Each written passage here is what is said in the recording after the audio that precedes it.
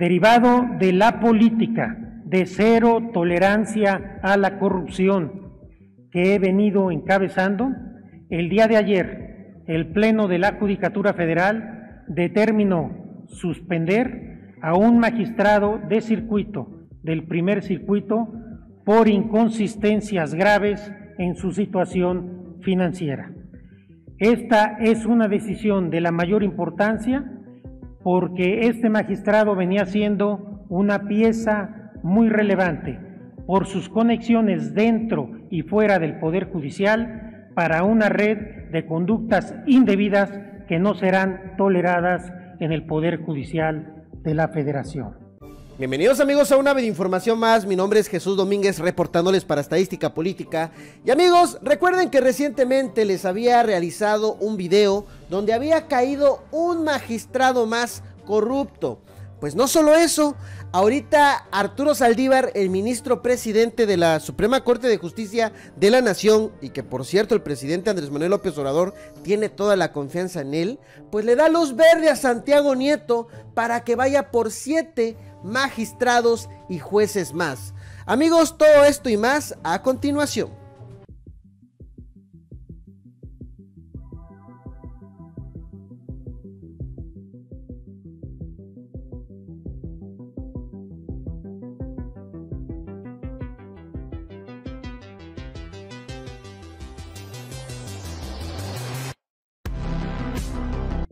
Y así es amigos, Santiago Nieto de la Unidad de Inteligencia Financiera va por siete jueces y magistrados más. Hay que recordar que también Santiago Nieto había llevado a la Cámara de Legisladores un informe al cual él denominaba Casa Limpia, que tenía cinco ejes rectores, los que iba a atacar la corrupción que hay ahorita en el país y que ha sido producido por el neoliberalismo. Y ahora bien, vámonos a ver estas publicaciones, pero antes quiero recalcarles que ya les había realizado este video que me podrán ver aquí, hay una persona ahí con su con su antifaz. Ya ven que a estos magistrados y personas corruptas les gusta romper la piñata, que les ponen su bandita negra. Y aquí les había hecho este video con el título Cae otro magistrado, FGR captura machuchón. Alejandro Gersmanero y la 4T de AMLO da resultados.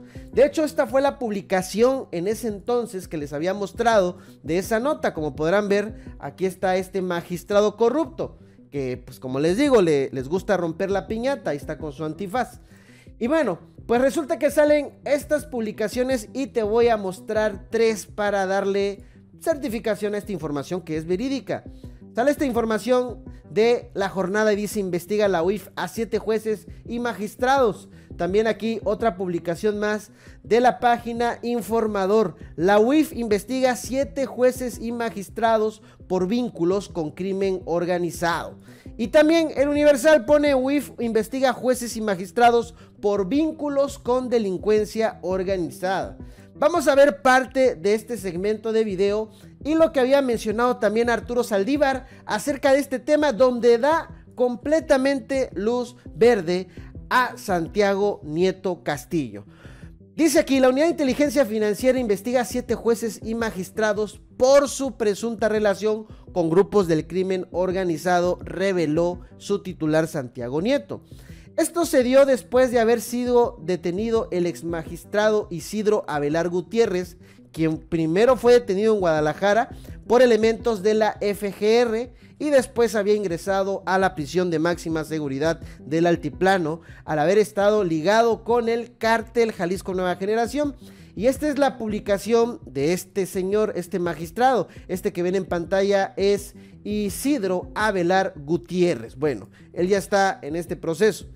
Y dice Santiago Nieto, tenemos siete casos más denunciados manifestó después de asistir a la Lotería Nacional para la Asistencia Pública, donde se llevó a cabo el sorteo superior 2624 por el aniversario 15 de la UIF. Cuestionado sobre si estos casos están ligados al crimen organizado, el funcionario de la Secretaría de Hacienda y Crédito Público dijo, es correcto. Y también aseguró esto Santiago Nieto. Hay también unos casos a nivel local que estamos analizando en varios estados de la República. Santiago Nieto apuntó que estas autoridades cuentan con apoyo de parte del Poder Judicial para combatir la presencia del crimen organizado, células que afectan a la población. Y aseguró y afirmó también Santiago Nieto que ya hay un compromiso con la nueva administración del Poder Judicial, haciendo alusión a Arturo Saldívar, que es el video que vamos a ver a continuación. Y dice, para efecto de poder combatir y particularmente con los cambios del Consejo de la Judicatura Federal para poder evitar que a través de interpretaciones puedan librarse cuentas que benefician a los grupos criminales.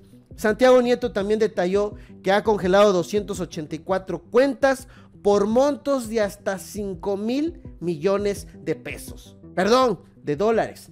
Y vamos a ver ahora sí esta información de lo que había dicho en alguna ocasión este ministro presidente Arturo Saldívar, quien realmente el presidente Andrés Manuel López Obrador dice que tiene toda su confianza en este nuevo ministro presidente para combatir a la corrupción.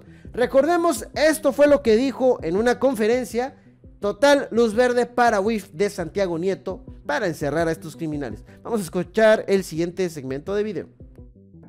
A partir de las políticas que hemos impulsado en esta administración y que ahora están ya en este acuerdo, se han establecido requisitos muy estrictos para que tengamos un poder judicial de excelencia, para que los buenos jueces y juezas sean ratificados pero aquellos que son negligentes o que no son éticos o que no tienen un estándar mínimo para merecer la confianza de la ciudadanía no sean ratificados.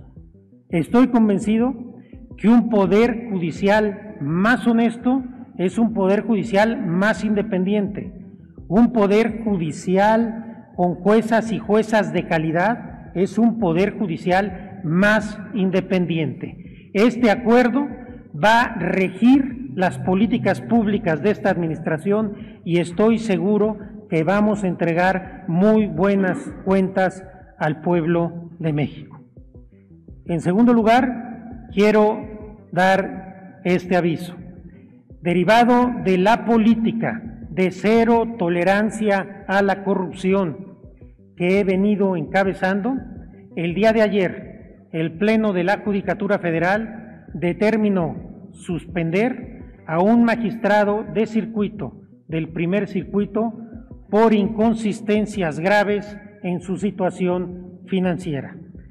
Esta es una decisión de la mayor importancia porque este magistrado venía siendo una pieza muy relevante por sus conexiones dentro y fuera del Poder Judicial para una red de conductas indebidas que no serán toleradas en el Poder Judicial de la Federación.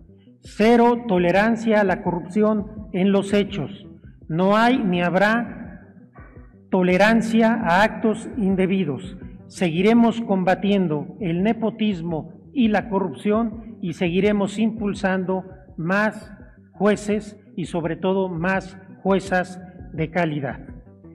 En los hechos y no en las palabras, demostramos nuestro compromiso con la gente, nuestro compromiso por la modernización, transformación y mejoramiento del Poder Judicial de la Federación. Un mejor Poder Judicial será necesariamente un mejor Poder Judicial independiente, un Poder Judicial más cercano a la gente, un Poder Judicial más sensible a los problemas de la gente, un Poder Judicial en el que la gente pueda confiar. Requerimos todos los días renovar esfuerzos para fortalecer nuestra legitimidad y para demostrar en los hechos nuestro compromiso y nuestra independencia. Estos dos avisos que acabo de dar son de una enorme trascendencia y marcan un antes y un después. El primer circuito del, eh, del, Poder Judicial de la Federación había sido prácticamente intocable. Es la primera vez que tomamos medidas y las seguiremos tomando. En esta administración no ha habido, no hay y no habrá intocables. No se permitirá la corrupción y no se permitirá práctica alguna que sea indebida e indigna para el pueblo de México. Pues ahí está amigos, con este gran discurso y esta autorización que prácticamente da eh, el ministro presidente Arturo Saldívar, pues es que se está combatiendo la corrupción y Santiago Nieto, sin duda alguna, se va a poder ahora sí escarbar hasta por debajo de la tierra con estos magistrados corruptos. También recordemos que la UIF ya había representado eh, ya había presentado, perdón, un informe, el cual denomina Casa Limpia, de hecho, este lo entregó a la Cámara de Legisladores y ya se han realizado más de 800 bloqueos de cuentas bancarias. De hecho, esta fue la ocasión en donde Santiago Nieto dice lo siguiente, acudí a la convocatoria de la Comisión de Justicia del Senado de la República para analizar con las senadoras y senadores las iniciativas de reforma a la ley y antilavado, a fin de cumplir los estándares del GAFI y fortalecer a la unidad de inteligencia financiera. De hecho, aquí están las fotos que presenta en ese tiempo Santiago Nieto, donde había entregado este informe Casa Limpia. Y dice acá, eh, pese al sigilo que requiere su trabajo, la UIF de la Secretaría de Hacienda y Crédito Público tiene que rendir cuentas al Congreso. De ahí trasciende que presentó un informe denominado Casa Limpia, en donde se incluyen a personajes activos de la política y de la administración pública, como pues, ya tiene el gobernador de Morelos, Cuauhtémoc Blanco, o a quienes aún tienen que rendir cuentas como Carlos Romero de Shams. En firme presentó dos denuncias contra Gerardo Ruiz Esparza y OHL por corrupción. Esta casa limpia que presenta Santiago Nieto tenía cinco ejes centrales que iba a atacar. Y aquí están. Es robo de hidrocarburos, trata y tráfico de migrantes, empresas fachadas y factureras, narcotráfico y corrupción política. Pues amigos, Santiago Nieto tiene rienda suelta para ajusticiarse a todos estos magistrados y jueces corruptos. ¿Qué piensas de esta información? Déjamelo aquí abajo en tus comentarios, en los comentarios. Y de igual manera te invito a que le des like o me gusta a este video y lo compartas en tus redes sociales, en Facebook, WhatsApp, donde tú prefieras. También te invito a que te suscribas a dos canales más, a Noti Express MX y benditas redes sociales. Nos vemos en un próximo video y recuerden que los números siempre serán exactos. Y si no, es un fraude. Nos vemos. ¿Quieres apoyar al canal? Ve más videos. Estos son los dos últimos videos que he subido con anterioridad. Nos vemos.